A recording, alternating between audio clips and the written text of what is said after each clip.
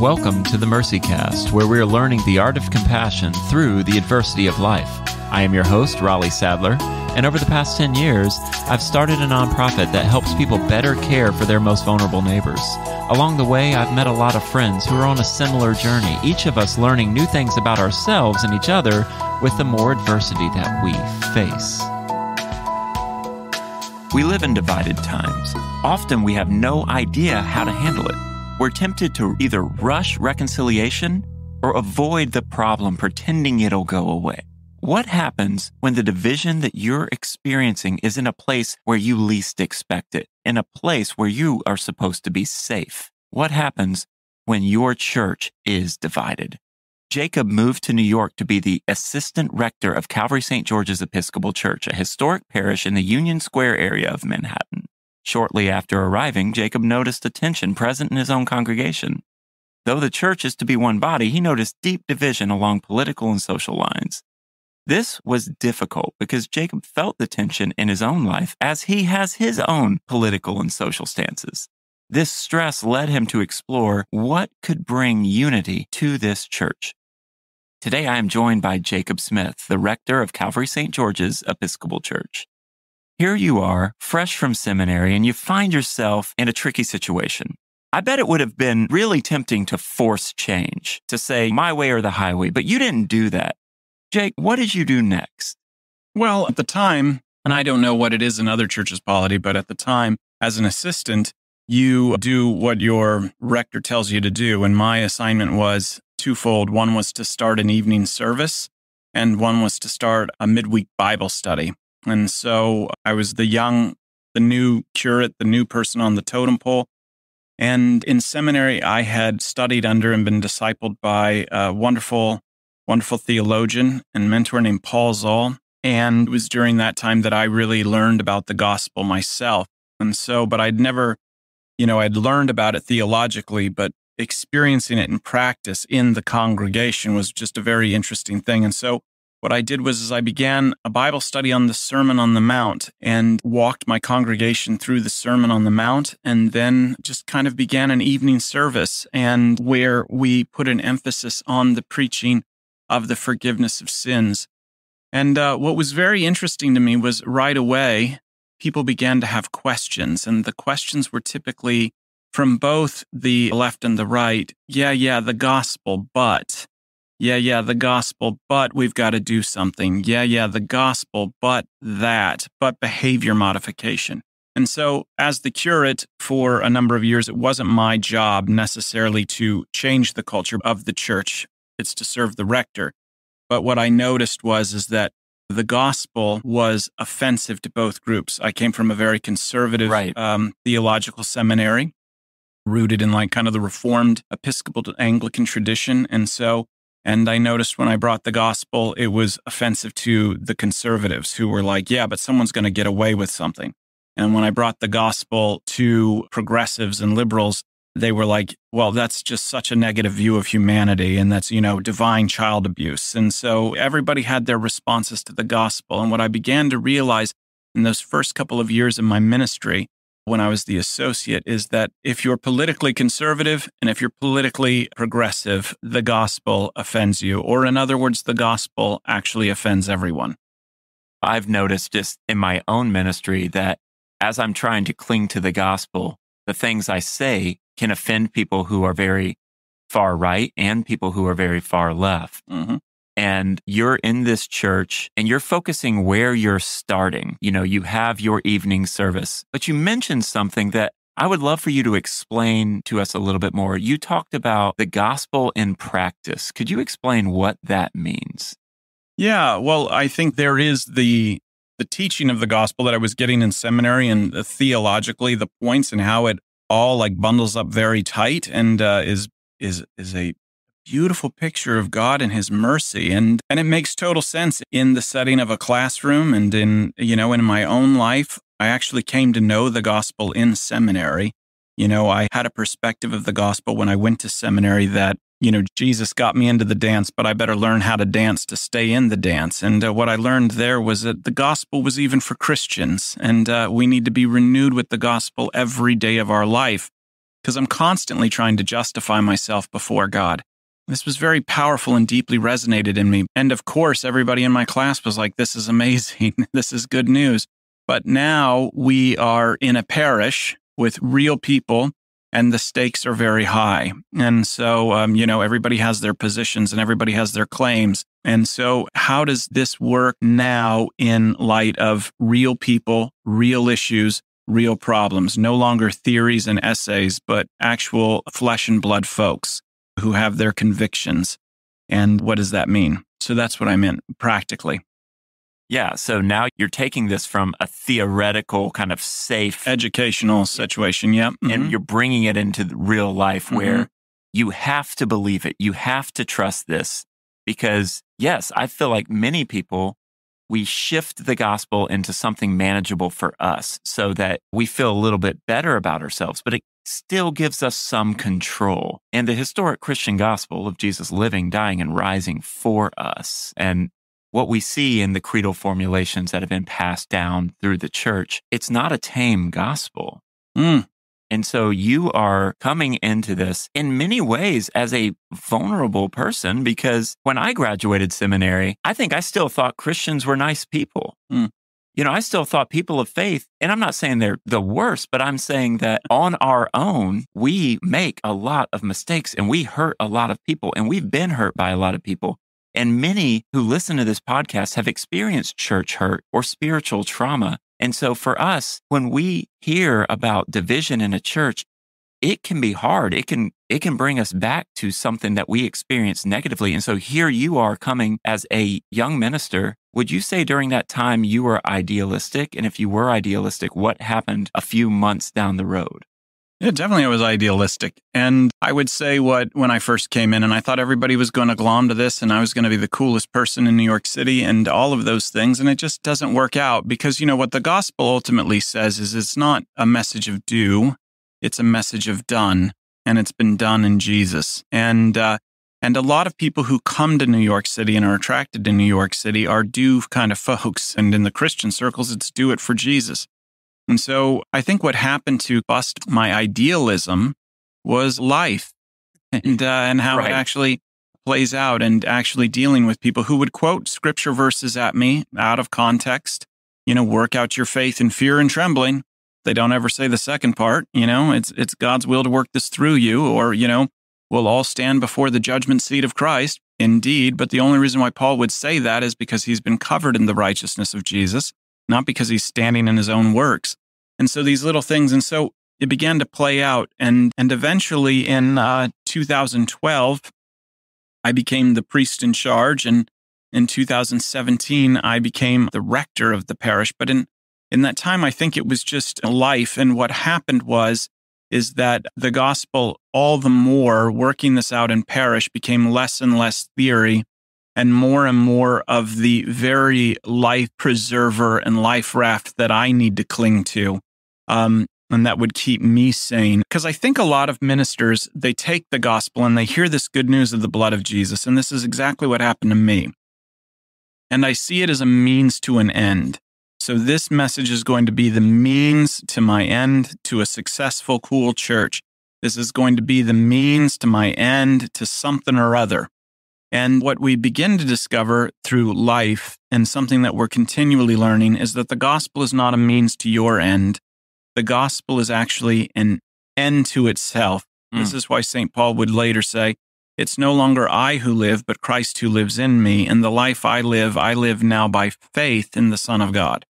And so that is what began to play out in me is that I had to begin to, I didn't begin to, it began to be pulled from me by God through many deaths and resurrections every single day this idea that it's a means to an end. I've been now in New York City for 17 years, and that's still being played out every day. Every day of my life, death and resurrection, as God continues to pry my plans out of my hands, and He begins to pry other people in my congregation's plans out of their hands.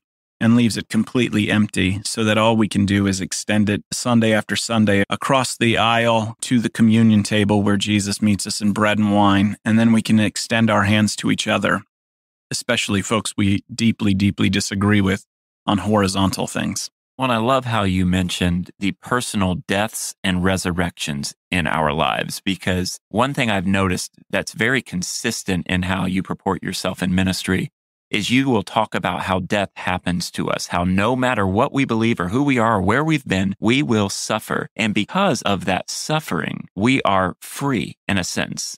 Mm. Could you explain what does it mean for death to happen to us? Yeah.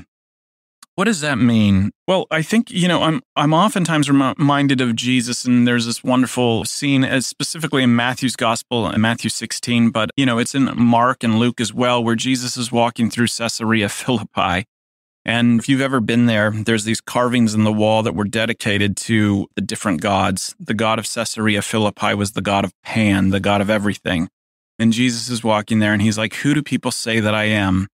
And then he says, and they're like, oh, some say you're this, some say you're that. And then he's like, well, who do you say that I am? And Peter says, you are the Christ, the Son of the living God.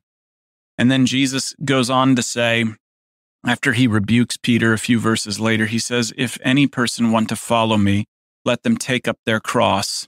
And that is crazy talk. Nobody chooses a cross. A cross is flung on your back, and it is the situation in life that you are given where it seems like there's no way out except for the voice of God coming to you that says, I forgive you, I love you, and I will never leave you or forsake you.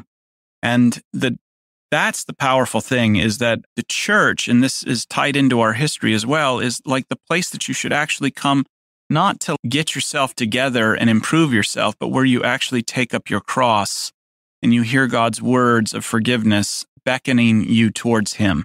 And I think this is a big reason that you and I became friends. This is also a reason that we have partnered in different ways because Let My People Go, we want to empower local churches to fight human trafficking by loving those most vulnerable. Mm-hmm.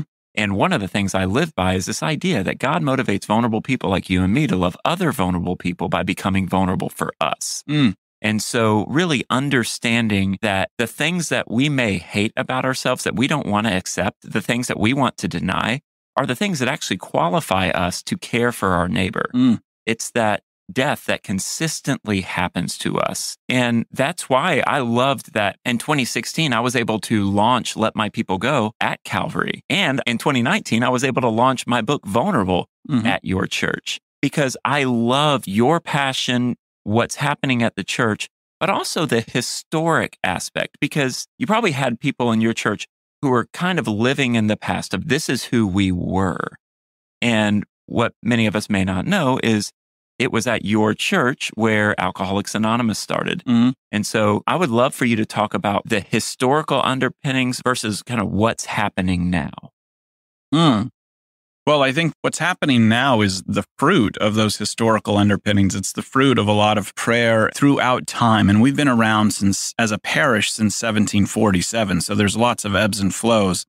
But through that patchwork of faithfulness and unfaithfulness, through that patchwork, there is a consistency of the gospel and the idea of not only death, which is our vulnerability, but resurrection, God bringing us to new life and new understandings about who we are and what we're about in this moment. And I love what Sam Shoemaker says, and it and it ties into what you're talking about. And Sam Shoemaker was interesting. He's preaching when he, he gives this talk. And he was a rector. He was the rector of Calvary Church in the 30s.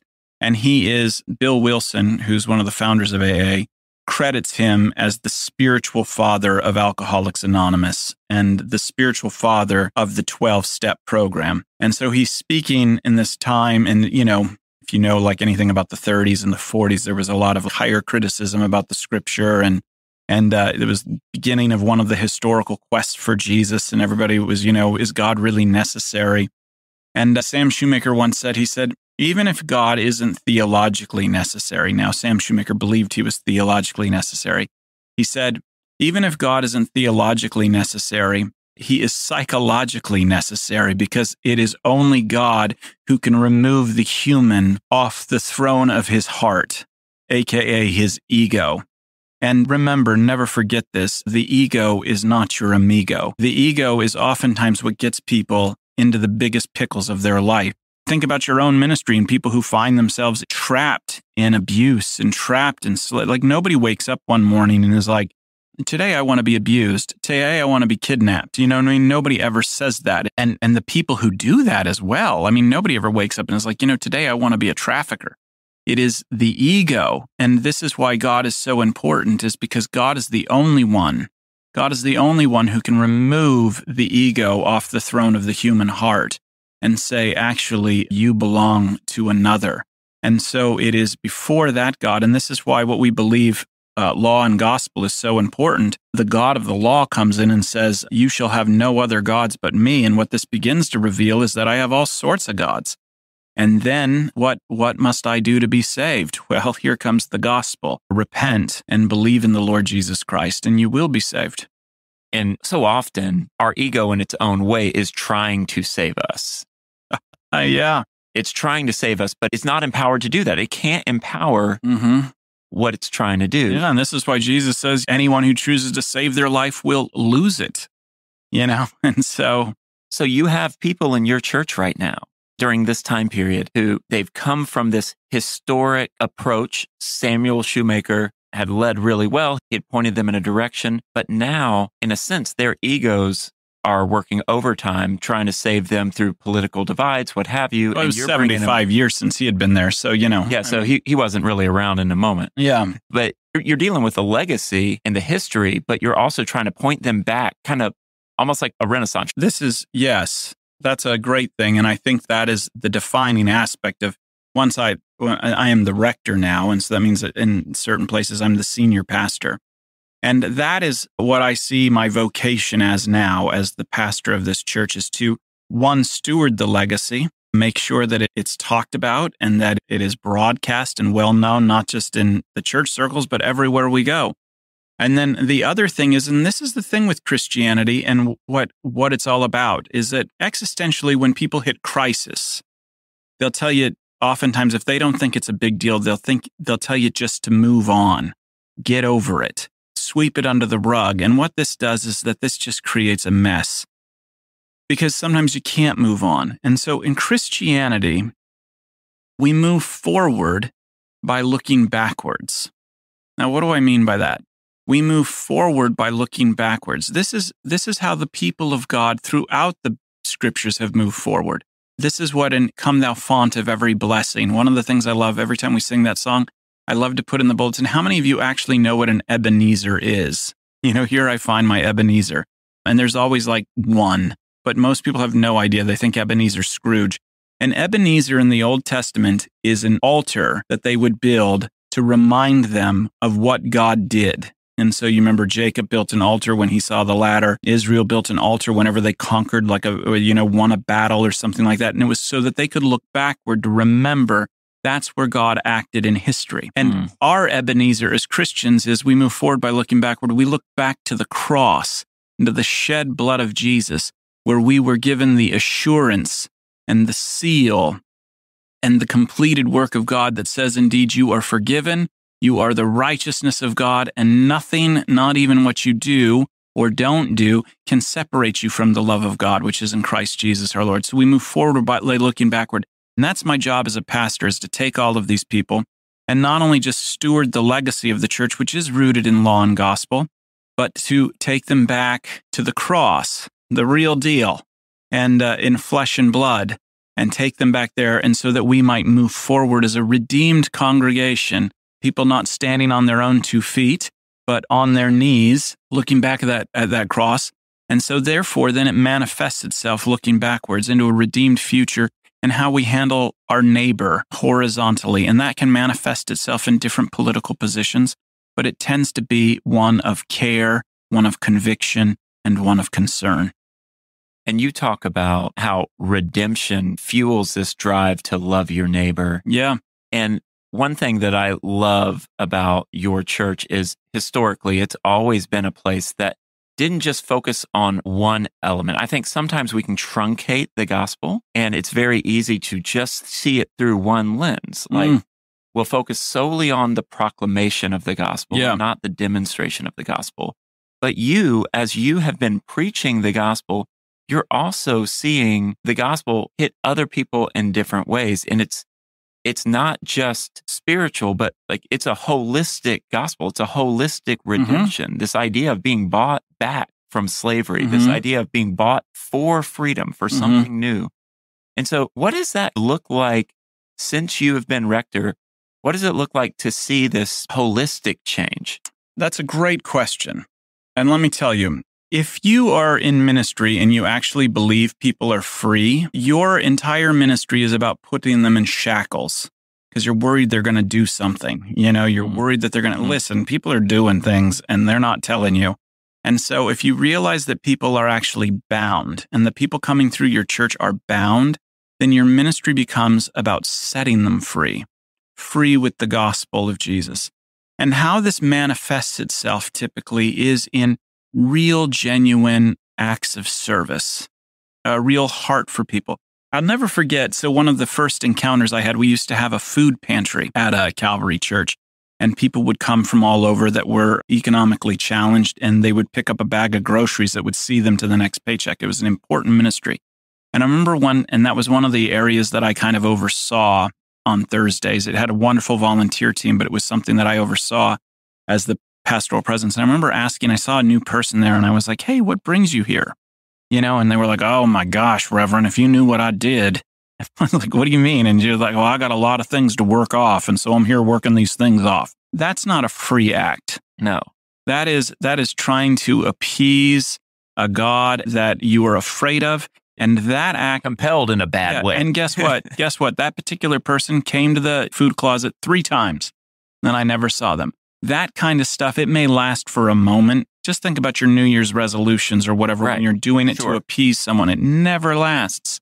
But what I begin to see now is, is that actually there is real work and that's coming out of a place of freedom. So the church is excited to host events that you put on because they know it's making a difference, not because we're trying to like win your approval or maybe Right. you know be a little more socially progressive. We had our young adult group go and spend a Saturday not eating brunch, but going and bagging 50,000 meals that are going to Haiti to work with a church that we have a partnership with there because you can't trust NGOs. But they went, and it's not because they're trying to earn, but because a group of people, this freedom gave them a heart for the people of Haiti. And now uh, we have a, where the same thing is beginning to happen as God is bringing us. You know, you, I thought it was going to be Guatemalans because the Guatemalan consulate's right across the street from Calvary, but we're getting a lot of Arab Christians that are starting to come to Calvary St. George's. And so, out of the freedom of the church, God is leading us in a direction to service to support a hospital in Palestine that works with disabled children and, and, and mothers. And so, but this isn't coming out of a place of obligation, it's coming out of a place of freedom. And the reason why I know it's coming out of a place of freedom is because it's completely and totally unexpected fruit. Mm. Like, who would have thought? I mean, in the middle of New York, across the street from the Guatemala, we should be doing missions to Guatemala. You know what I mean? And that's what I thought. But God is like, actually, we're going to be doing this, and you're going to be working with Arabs and Arab Christians and Arab Muslims in the Middle East to make sure that they get the care that they need in this war torn area. You know what I mean? You're going to be doing packaging because you have a parishioner from Haiti who happens to have a heart for the place and can mobilize folks with the same heart. And so it becomes not about binding people. No, we got to focus on Guatemala because that'll make God happy. You don't know what we've done. No, it's about freedom. And so we're unleashing people, releasing people, unleashing them literally, releasing people into ministry that's bearing fruit. And it's nothing we would have ever expected. It's this idea of now that the gospel has shown us that we are loved by God, the Yes. vertical has been dealt with. Now we are free to focus on our neighbor. Yes, absolutely. And you know, that's an interesting thing because on a number of levels, on a number of issues, I'm so I always tell people that um politically or socially, politically on a number of things, economically, I'm Halloween, but socially I'm All Saints Day. You know, and so um and uh, but that has brought a diverse crowd of folks and and we have a lot of people who are coming uh, with all sorts of issues and from all sorts of various political backgrounds. And I always ask, why would you come to Calvary St. George's, both to conservatives and liberals? And they all say, uh, I've heard the, a promise. I've heard that it, God is for me. And really, I mean, that, that gospel, what the world can't seem to figure out over time, and it doesn't happen overnight, we are beginning to see the walls of hostility being torn down, and people that 10 years ago would have never talked to each other are actually friends and engaged in service for their neighbor together. So you come to this church and you start where you are you are showing that the gospel can be in practice. You're teaching it, you're applying it, and you're focusing on this message that's not do as much as done. And you are showing people that yes, death and resurrections will happen in your life, but that will free you to love your neighbor.